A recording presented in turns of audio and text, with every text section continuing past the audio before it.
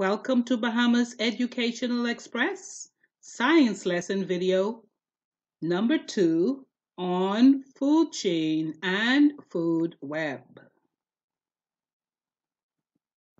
Learners will be able to define the terms food chain and food web, list the parts of the food chain, state the role of the decomposer.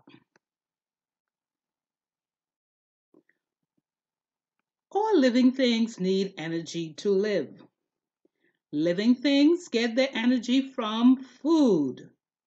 A food chain is the flow of food in the ecosystem from one living thing to another.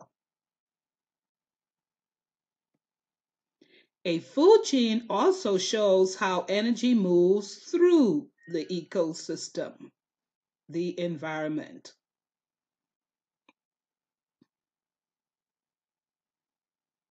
Let us see what makes up a food chain. Living things uh, in an ecosystem can be classified as producers, consumers, and decomposer. Producers are plants. They make up their own food.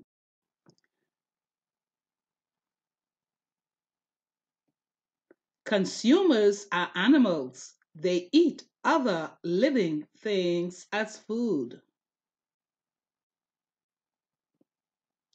Decomposers are living things such as mushrooms and earthworms.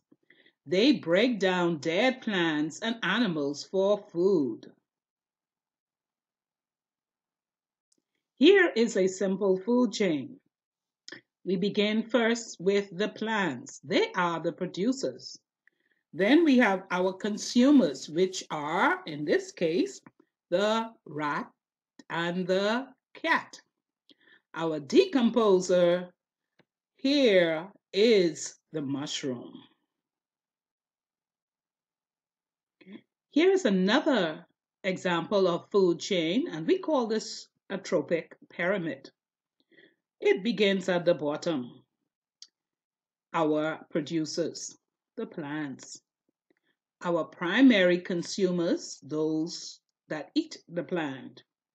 Our secondary consumers, those who eat the primary consumers. And then we have at the very top our tertiary consumers, those who eat the secondary consumers. And sometimes we call them scavengers.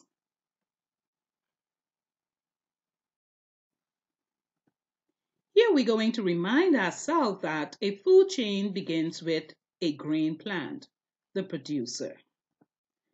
It continues with an animal, the consumer that eats the grain plant. A food chain may include one or more other animals.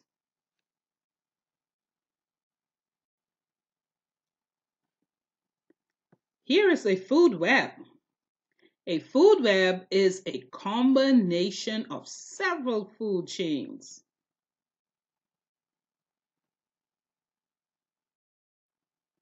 Now, you are going to identify the parts of a food chain. You're going to look at for the energy, where the energy source will come from, the producer, the primary consumer, the secondary consumer and the tertiary consumer.